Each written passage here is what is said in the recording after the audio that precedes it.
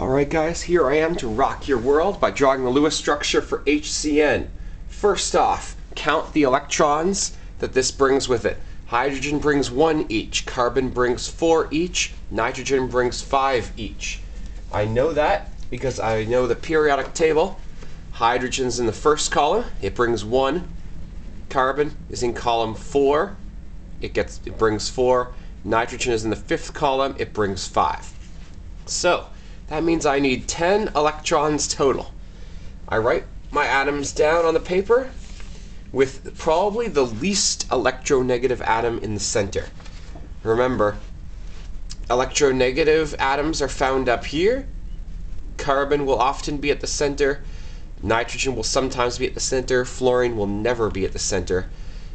Probably the least electronegative atom goes in the center. Hydrogen is a bit of an exception. Hydrogen is never at the center. All right, after you do that, put some electrons in your bonds. We need at least one bond here and one bond here. That makes for one, two, three, four electrons taken care of. Next, fill your outer shells until you run out of space in your outer atoms or you run out of electrons. One, two, three, four electrons. H is filled.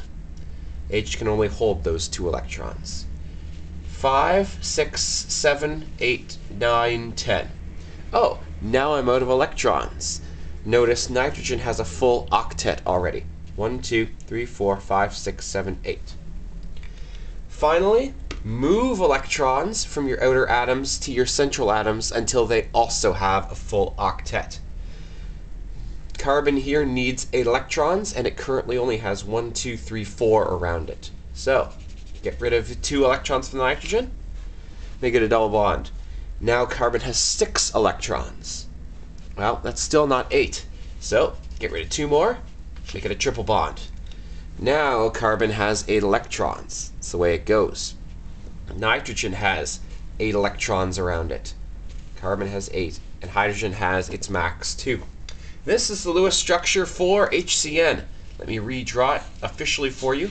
H single bond C, triple bond Cn, or triple bond N, with a lone pair of electrons sitting on the N. It's the way it goes. Least electronegative atom in the center, fill your outer atoms, then move outer electron pairs to the center until they have a full octet. Hey, best of luck.